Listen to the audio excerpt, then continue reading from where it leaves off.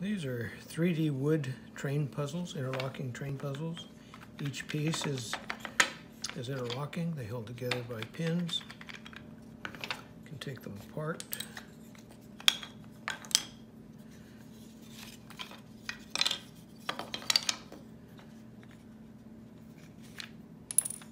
This is just one car.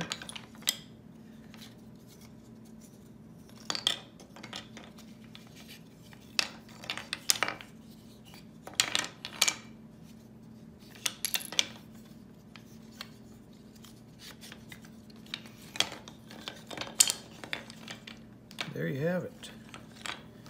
18 pieces. It becomes a very difficult puzzle to put together. Have fun putting it together.